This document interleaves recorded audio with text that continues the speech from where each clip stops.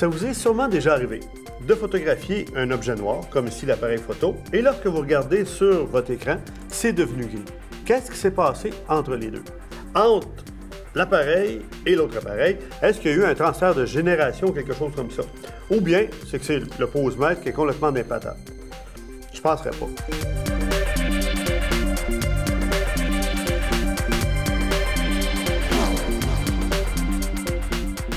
Il y a une réalité qui se passe, c'est que nos appareils, tous les appareils, sont vraiment faits pour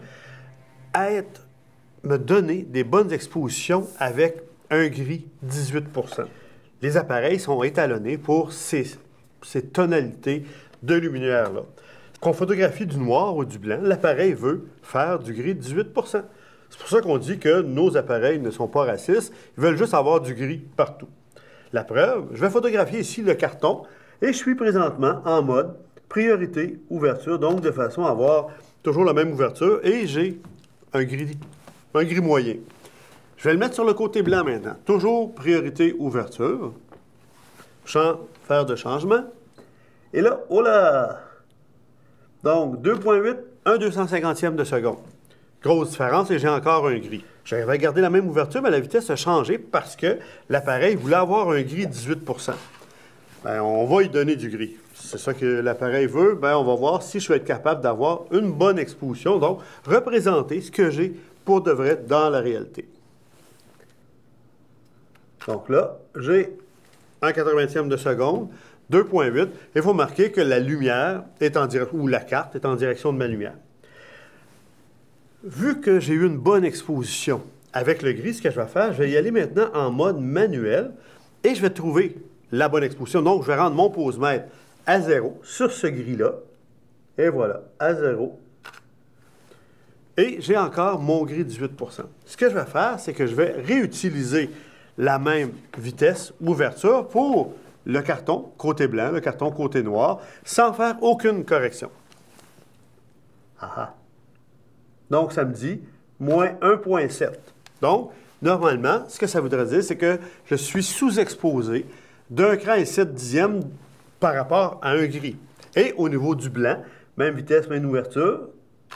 Et là, j'ai une surexposition d'un cran et 7 dixièmes. Je vais y aller en mode priorité ouverture et je vais appliquer ces corrections-là. Donc, je me remets en priorité ouverture, carton blanc. Donc, ce que je voulais avoir, c'est un cran et 7 dixièmes de plus. Voilà, j'ai mon blanc. On remet ça sur le côté noir. Donc là, il faut que j'aille un cran et 7 dixièmes sous-exposé pour avoir mon noir.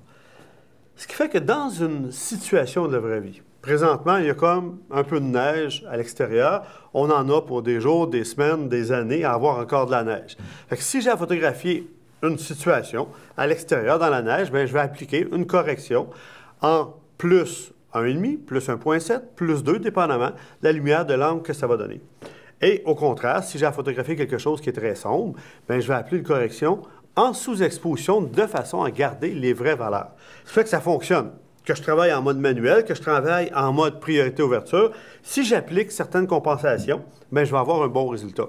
Comme vous avez sûrement remarqué, tous les noirs ne sont pas égaux.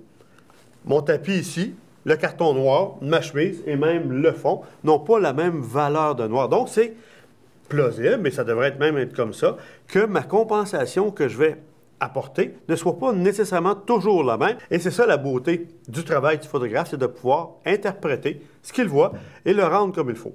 Comme on dit, une photo bien exposée me permet de faire à peu près tout par la suite dans Lightroom, Photoshop, donc parce que j'ai une bonne entrée de données.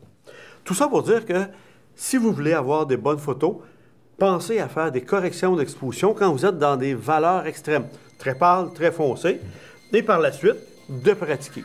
On va continuer à faire des belles photos. C'était François Desrosiers des Ateliers Lozo.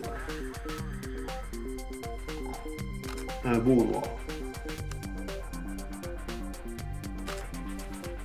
C'est bien ça. Parfait.